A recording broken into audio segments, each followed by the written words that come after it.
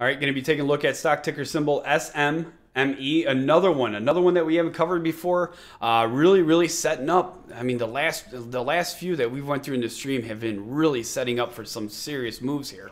Uh, uh, people are uh, somebody over here in the chat that brought us to, brought this to us and said this is the next OWCP.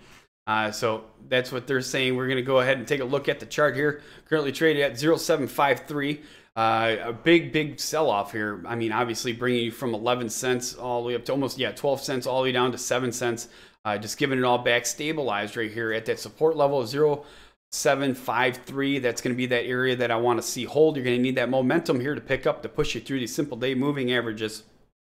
That's going to be our biggest uh, biggest thing that we're going to be watching for. So uh, again, with the with this one, the biggest thing that I can definitely tell you is that you're going to want to watch you're going to want to watch at 0753 to hold. 0, uh, 0860, watch for buying to past 0.0899 and break 0933, right? Yep. 31. 30 day simple moving average resistance at 0.9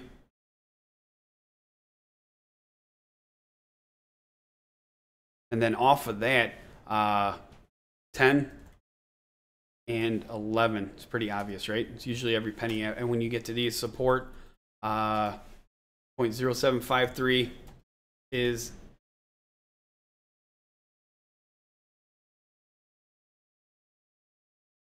is going to be a must hold uh, for you know as far as that bounce goes. So uh, SMME and add that here.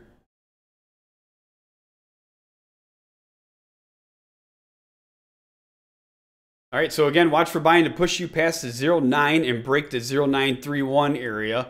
30-day uh, simple moving average resistance at 0, 9, 10, and 11. Support at 0, 7, 5, 3 is a must hold for a bounce, in my opinion. That's what you guys are going to be watching for. So uh, definitely keep me updated if this one starts moving off of that uh, for sure. I'm going to want to follow this thing more.